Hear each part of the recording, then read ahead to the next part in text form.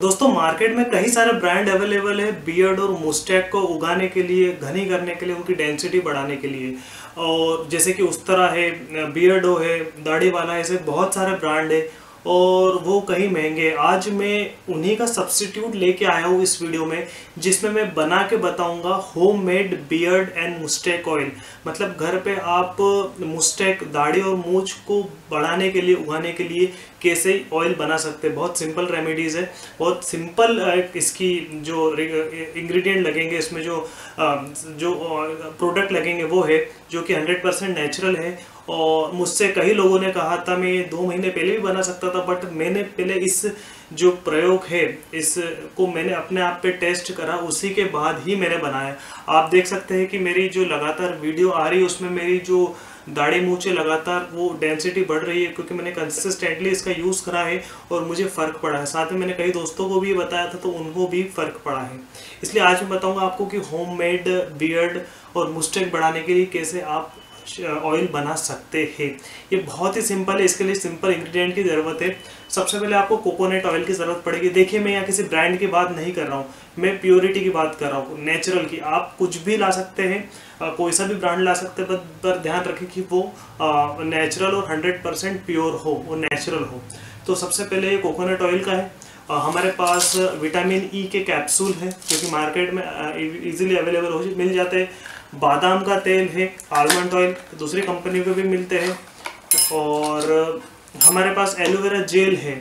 आप इसकी जगह नेचुरल एलोवेरा जेल भी यूज़ कर सकते हैं। या साथ में मेरे पास एक हर्बल ऑयल है हेयर के लिए। ये है दिव्य केश तेल। आप चाहे तो कोई सा भी हर्बल ऑयल यूज़ कर सकते हैं। बस ध्यान रखें कि वो हंड्रेड परसेंट नेचुरल हर्बल हो। साथ में जो उसके अंदर इंग्रेडिएंट हो हर्बल जड़ी बूटी वो भी नेचुरल हो और काम आए। तो हमें सबसे पहले ज़रूरत है एक खाली डब्बे की जिसमें हम स्टोर करके रख सके। तो मेरा नाम अभिषेक चौहान और एक बार फिर आपका स्वागत है केयर फॉर ऑल में। आइए हम देखते हैं कैसे घर बैठे homemade beard and moustache oil बना सके।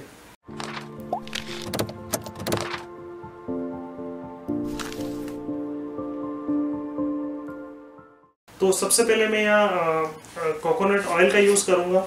आपको यहाँ करीबन चार से पाँच चम्मच आपको कोकोनट ऑयल का यूज़ करना है। मैं आप इसकी रेशियो बढ़ा सकते हैं। मैं ये बना रहा हूँ करीबन जो कि दस दिन चल जाए, एक वीक चल जाए। आप इसको एक महीने के लिए भी बना सकते हैं, क्योंकि मार्केट में जो अवेलेबल है, वो उसमें दूसरे कुछ केमिकल मिले रहते हैं जिससे उनकी एज बढ़ जाती है। मैं चार से पाँच चम्मच ले रहा हूँ। आप आपकी कंसिस्टेंसी के अकॉर्डिंग ले सकते हैं।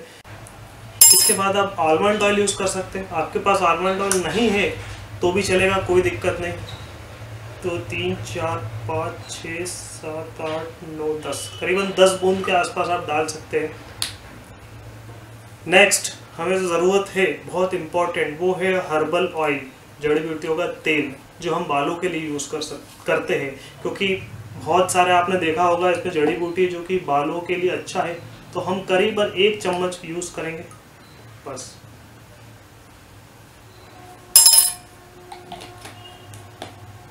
और साथ में हम एक विटामिन ई e का कैप्सूल लेंगे। ये मार्केट में इजीली अवेलेबल मिल जाता है।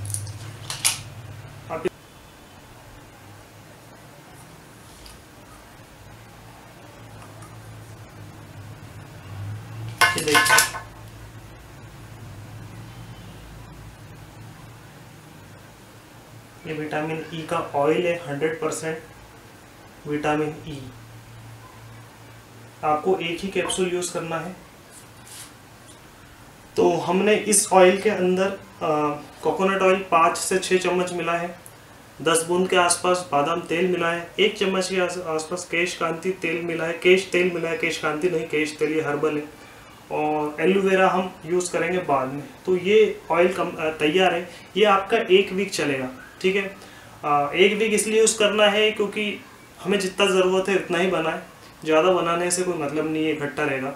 और ये एक कैप्सूल करीबन दस रुपये का आता है तो आप इसको एक मंथ यूज़ करेंगे सभी ऑयल को तो ये करीबन तीन कैप्सूल यूज़ होंगे, और ये तो लगभग सभी चलेंगे, और आपको घर पे यूज़ होते ही है दूसरे।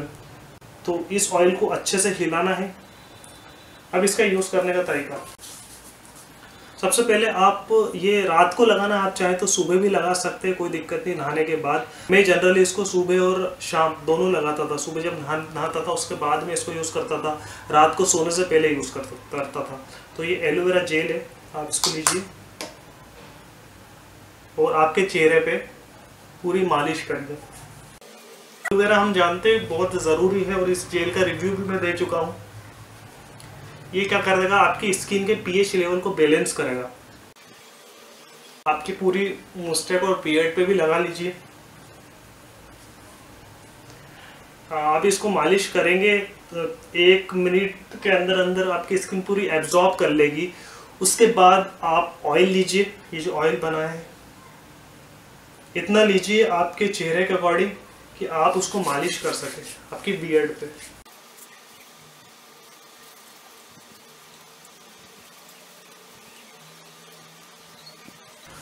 तो इस तरह से आप यूज़ कर सकते हैं, इस ऑयल को स्टोर कर सकते हैं। और देखिए, मैंने बहुत ही कम लिया है। आप आपके हिसाब से जितना भी ले सकते हैं, कोई दिक्कत नहीं है। ज़्यादा क्वांटिटी कम क्वांटिटी क्योंकि ये सब हर्बल और नेचुरल है। तो ज़्यादा क्वांटिटी कम क्वांटिटी से मतलब नहीं है। बस ये है कि हमें कोकोनट ऑयल ज़्यादा इसलिए मिलाते हैं तो कि क्योंकि ये ज़्यादा थिक ना हो जाए। ज़्यादा क्योंकि ये बहुत ठीक है। ये थोड़ा माइल्ड ठीक है और ये बहुत कम ठीक है। क्योंकि इसकी जो विस्कस है, इसका और ये सेम है, इसका विस्कस थोड़ा हार्ड है। तो आप इस ऑयल को यूज़ कर सकते हैं। विटामिन ई का कैप्सूल अगर आपको नहीं मिले तो भी चलेगा, क्योंकि विटामिन ई बादाम ऑयल में मिल जाता है। इसलिए हम इसलिए यूज़ करते हैं क्योंकि इसके अंदर ओमेगा थ्री होता है फैटी एसिड होता है। अनसेचुरेटेड फैटी एसिड विटामिन और मिनरल्स भी इसमें कई होते हैं। और इस दिव्य गैस तेल तो इसमें करीबन बाईस तरह की जड़ी बूटियाँ हैं शायद। बाईस तरह की जड़ी बूटियाँ जी हाँ इसका भी मैंने रिव्यू दिया है, जो कि हेयर की ग्रोथ के लिए फॉलिक को स्ट्रॉन्ग करता है और हेयर की डेंसिटी बढ़ाता है। जिनको थिनिंग की प्रॉब्लम है, उनको भी स्ट्रॉन्ग करता है। और ये जो ऑयल है, ये केवल आप मुस्टैक या दाढ़ी में नहीं लगा सकते। आप चाहे तो अपने हेयर में भी लगा सकते कोई दिक्कत नहीं है। मेल फीमेल दोनों, इससे ये नहीं कि आप इस ऑयल को अगर आप लड़कियाँ लगा लेंगे तो उनकी दाढ़ी उग जाएगी, ऐसा कुछ नहीं है। जिनकी स्किन ड्राई है, वो भी इसको यूज़ कर सकते हैं। गर्मियों में रात को करें मुस्टैक के लिए मैं तो सुबह और शाम दोनों करता हूँ, क्योंकि हम एलोवेरा जेल हम लगा रहे बट यहाँ दाढ़ियों पे और मुस्टैक पे केवल ऑयल लगा रहे हैं, और कुछ मिनटों में ही एब्जॉर्ब हो जाता है तो कोई दिक्कत नहीं है। लेकिन आप फिर भी लगाना चाहते हैं, जिनको ज़्यादा स्वेट आता है, जिनकी स्किन बहुत ऑयली है तो वो रात को यूज़ करें। आप एक मंथ तक कंसिस्टेंसी बना के इसका यूज़ करेंगे तो आप ही इसका रिज़ल्ट देखेंगे। क्योंकि मैंने भी इसको यूज़ करा, मेरे फ्रेंड ने भी करा है, और वाकई ये काम करता है। क्योंकि हेयर की ग्रोथ के लिए, चाहे वो सिर के बाल हो या दाढ़ी के बाल हो, शरीर के बाल हो, कोई सा भी बाल, उनकी ग्रोथ के लिए उनको न्यूट्रिशन न्यूट्रिशन प्रोवाइड करना बहुत ज़रूरी है। हम एक्सटर हम एक्सटर्नली तो अच्छे से केयर कर रहे हैं, लेकिन हम जब तक इंटरनली केयर नहीं करेंगे, तब तक कोई भी आपके बाल नहीं उगा सकते, चाहे वो सिर के हो या दाढ़ी के हो। आपको एक चीज़ आपको एक चीज़ का बहुत अच्छे से ध्यान रखना है। अगर वो चीज़, वो बातें अगर आप ध्यान नहीं रखेंगे तो या ना तो ये काम आएगा, ना कोई सा बियर्डो ऑयल काम आएगा, ना कोई सा भी ऐसा में ऐसा कोई सा ऑयल ऐसी कोई सी केमिकल नहीं बना जो आपके दाढ़ी मूछ को उगा सके।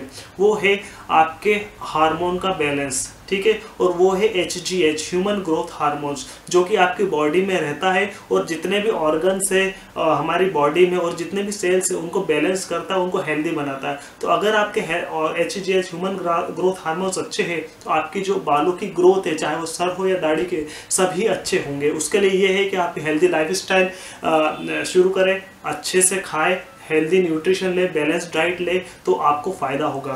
तो अगर आपको ये वीडियो अच्छी लगी है तो प्लीज़ इसको लाइक करें। जो चाहते हैं जिनके एड उगे क्योंकि आजकल रणवीर सिंह और विराट कोहली ने ऐसा जमाना लाया है, जिसमें हर कोई एक तरह से ट्रेंड बन गया है कि दाढ़ी मुझ चाहिए। और लड़के तो कुछ ज़्यादा ही परेशान है जिनके नहीं उभरी एक समय था सब चिकने रहते थे बेल्ट शेव्ड रहते थे बट अब सभी को ही रणवीर सिंह बनना है। तो अगर आप इसका यूज़ करेंगे तो वाकई आपको फ़ायदा होगा। तो आपको ये वीडियो अच्छा लगा है तो प्लीज़ मेरी आपसे रिक्वेस्ट है, इसको प्लीज़ लाइक करें। जिनको ज़रूरत है इसकी प्लीज़ आप शेयर करें। और अगर आपको इस वीडियो से रिलेटेड जो भी पूछना हो, या फिर बियर्ड या मुस्टेक से रिलेटेड कुछ भी आपको पूछना हो तो आप नीचे कमेंट करें। नेक्स्ट हेल्दी वीडियो के साथ मैं जल्दी आऊँगा, तब तक के लिए bye bye thank you very much